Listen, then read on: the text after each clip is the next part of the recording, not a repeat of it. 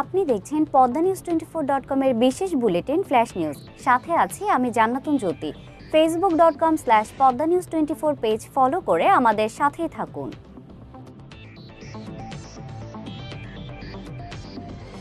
আগামী তেরো ও চব্বিশ ডিসেম্বর সারা দেশের মহানগর ও উপজেলা শহরে বিক্ষোভ কর্মসূচির ঘোষণা দিয়েছে বিএনপি। শনিবার রাজধানীর কমলাপুরের গোলাপবাগ মাঠে ঢাকা বিভাগীয় গণসমাবেশে দলটির স্থায়ী কমিটির সদস্য খন্দকার মোশাররফ হোসেন এই কর্মসূচি ঘোষণা করেন। তিনি বলেন আজকের সমাবেশে বাধা দেওয়া এবং নেতৃত্ববৃন্দকে গ্রেফতারের প্রতিবাদে আগামী তেরো ডিসেম্বর সারা দেশের মহানগরী ও জেলা জেলায় বিক্ষোভ কর্মসূচি পালন করবে বিএনপি। একই সঙ্গে সমাবেশে সরকার পতনের দশ দফা দাবি বাস্তবায়নে আগামী চব্বিশ ডিসেম্বর সারা দেশে মহানগরে ও জেলা শহরে বিক্ষোভ কর্মসূচি পালন করা হবে বলে জানান খন্দকার মোশারফ হোসেন। এসব কর্মসূচিতে বিএনপির সঙ্গে আন্দোলনে যোগদানকারী দলগুলো অংশগ্রহণ করবে বলে জানান তিনি।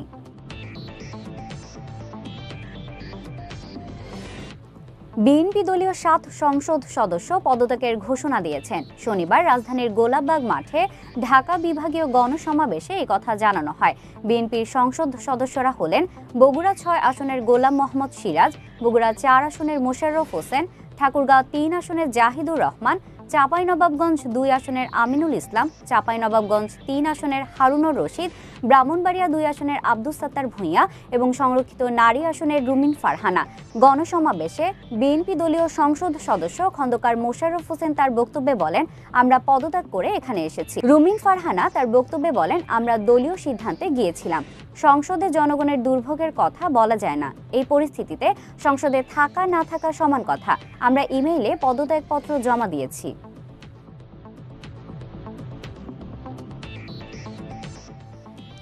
শনিবার বিকেলে বিএনপি জামাতের ষড়যন্ত্র ও মিথ্যাচারের প্রতিবাদে Savar radio colony school and college মাঠে আয়োজিত আওয়ামী লীগের জনসভায় প্রধান অতিথির বক্তব্যে ওবায়দুল কাদের বলেন ঢাকায় গণসমাবেশ নিয়ে তাদের আস্ফালন উবে গেছে। এটা দেশবাসীর কাছে আজ পরিষ্কার। তিনি আরও বলেন, খালেদা জিয়া এতিমের টাকা আত্মসাৎ করায় কারাদণ্ডপ্রাপ্ত।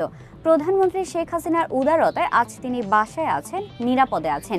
বিএনপিকে আন্দোলন করে তাকে মুক্ত করেছে ওবায়দুল কাদের আরও বলেন, পনেরো আগস্টের হত্যার মাস্টার মাইন্ড জিয়াউর রহমান। তিনি খুনিদের পুরস্কৃত করেছেন, বঙ্গবন্ধু হত্যায় জড়িতদের পুনর্বাসিত করেছেন, জেল হত্যাকাণ্ড ঘটিয়েছেন।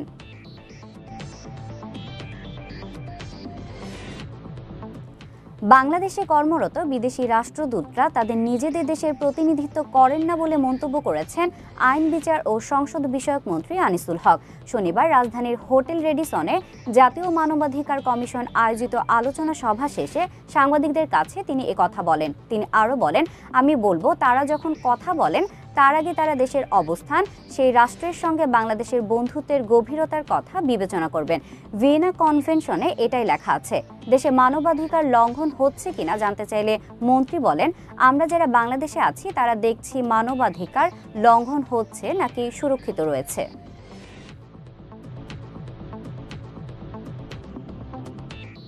বিএনপির দশ ডিসেম্বর সমাবেশ ঘিরে ঢাকায় আইনশৃঙ্খলা বাহিনীর সদস্যদের সঙ্গে দলটির নেতাকর্মীদের সংঘাত, গ্রেফতার ও হতাহতের বিভিন্ন ঘটনায় উদ্বেগ প্রকাশ করেছে যুক্তরাষ্ট্রের প্রেসিডেন্টের বাসভবন ও কার্যালয় হোয়াইট হাউস।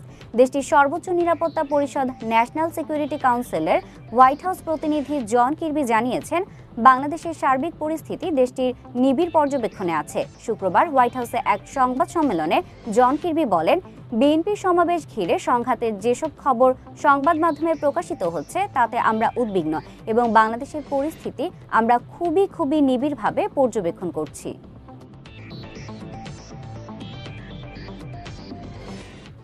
দুর্নীতি ও মানবাধিকার লঙ্ঘন ইস্যুতে বিশ্বের সত্তর ব্যক্তি ও প্রতিষ্ঠানের ওপর নিষেধাজ্ঞা আরোপ করেছে যুক্তরাষ্ট্র ও যুক্তরাজ্য। শনিবার আন্তর্জাতিক দুর্নীতি বিরোধী দিবস এবং বিশ্ব মানবাধিকার দিবসকে সামনে রেখে আন্তর্জাতিক অংশীদারদের সঙ্গে সমন্বয় করে প্রতি বছর যুক্তরাষ্ট্র ও যুক্তরাজ্য সরকার আলাদাভাবে নিষেধাজ্ঞা আরোপ করে। নিষেধাজ্ঞায় থাকা ব্যক্তি ও প্রতিষ্ঠানগুলো মূলত ইরান, মিয়ানমার, রাশিয়া, চীন গুয়েতেমালা, লাইবেরিয়া, বেলারুশ, উত্তর কোরিয়া ও পশ্চিম বলকান অঞ্চলের শুক্রবার যুক্তরাষ্ট্রের অর্থ বিষয়ক দফতর এক বিজ্ঞপ্তিতে দুর্নীতি ও মানবাধিকার লঙ্ঘনের অভিযোগে নয় দেশের চল্লিশ জনের বেশি ব্যক্তি ও প্রতিষ্ঠানের ওপর নিষেধাজ্ঞা আরোপের কথা জানায়। তার মধ্যে উত্তর কোরিয়া সম্পর্কিত নিষেধাজ্ঞায় ভারত ভিত্তিক প্রতিষ্ঠান ফুনসাগা পিটিই লিমিটেডের পরিচালক দীপক যাদবের নাম রয়েছে।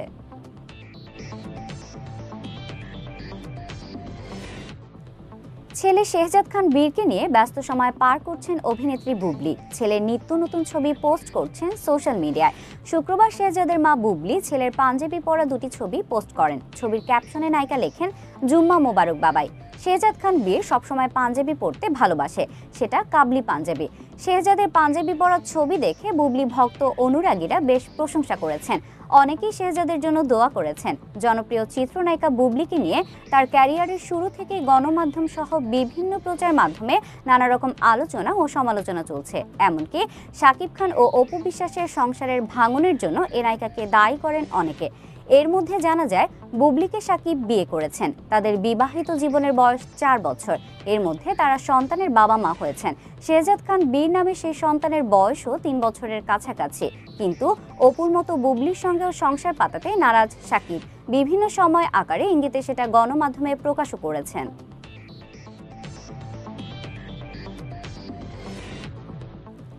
বাংলাদেশের বিপক্ষে ডাবল সেঞ্চুরি এসেছে ঈশান কিষানের ব্যাটে। ক্রিস গেলের জিম্বাবুয়ের বিপক্ষে একশো আটত্রিশ বলের ডাবল সেঞ্চুরি ছাপিয়ে একশো ছাব্বিশ বলে সবচেয়ে দ্রুততম দুইশোর মালিক এখন ঈশান কিষান শনিবার চট্টগ্রামের জহুর আহমেদ চৌধুরী স্টেডিয়ামে তিন ম্যাচে ওয়ানডে সিরিজের শেষটিতে টস জিতে বাংলাদেশ বোলিংয়ের সিদ্ধান্ত নিলেন ঈশান কিষানের ডাবল সেঞ্চুরি ও বিরাট কোহলির সেঞ্চুরিতে চারশো দশ রানের পাহাড় সমান লক্ষ্য দেয় ভারত।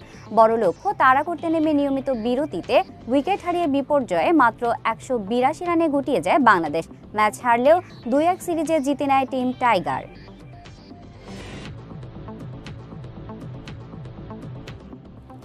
ক্রীড়াঙ্গনে এক রেকর্ড ভেঙে গড়া হয় নতুন রেকর্ড। এবার কাতার বিশ্বকাপে ব্রাজিলিয়ান কিংবদন্তি পেলের রেকর্ড ভেঙেছেন ফ্রান্সের তারকা কিলিয়ান এমবাপ্পে, যার জন্য এক টুইট বার্তায় ফরাসি এই ফুটবলারকে অভিনন্দন জানিয়েছেন পেলে। সঙ্গে কৃতজ্ঞতা জ্ঞাপন করেছেন তার সুস্থতা কামনার জন্য। পেলের অসুস্থতায় পে ফর কিং পেলে বার্তায় নিজের টুইটারে পোস্ট করেছিলেন কিলিয়ান এমবাপ্পে। পোস্টে এমবাপ্পে লিখেছেন, রাজার জন্য প্রার্থনা। পোল্যান্ডের বিপক্ষে জোড়া গোল করে বিশ্বকাপে পেলের গোল সংখ্যাকে ছাড়িয়ে গিয়েছে ফ্রান্স দলের এই প্রাণভোমরা। ক্যান্সারের সঙ্গে লড়তে থাকা পেলে সামাজিক যোগাযোগ মাধ্যমে লিখেছেন, ধন্যবাদ, এমবাপ্পে। বন্ধু আমার, বিশ্বকাপে তোমাকে আমার আরেকটি রেকর্ড ভাঙতে দেখে আনন্দিত। এবারের বিশ্বকাপে পাঁচ গোল করে সবার উপরে আছেন কিলিয়ান এমবাপ্পে। গোল্ডেন বুট জয়ে তার পেছনে আছেন মেসি, চার গোল করে।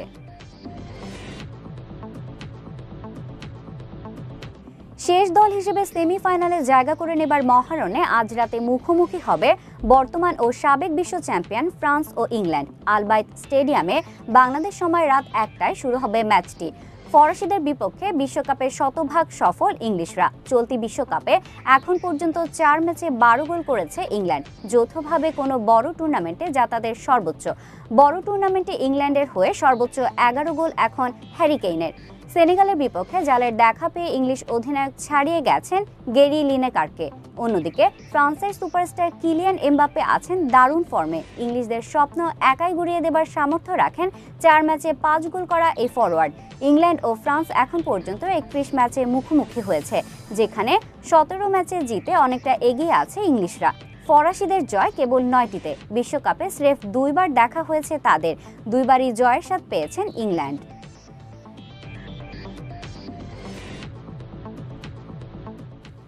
গুরুত্বপূর্ণ সব সংবাদ জানতে Padma news twenty four dot কমের বিশেষ বুলেটিন, ফ্ল্যাশ নিউজ দেখবেন প্রতিদিন রাত সাড়ে আটটা এবং রাত সাড়ে দশটায়। ফ্ল্যাশ নিউজ দেখতে ফলো করুন Facebook dot com slash Padma news twenty four page নিয়মিত দেশ বিদেশের আপডেট সব সংবাদ জানতে ভিজিট করুন multimedia news portal Padma news twenty four dot com পরবর্তী ফ্ল্যাশ নিউজ দেখার আমন্ত্রণ জানিয়ে বিদায় নিচ্ছি আমি জান্নাতুন জ্যোতি। ভালো থাকুন, সুস্থ থাকুন।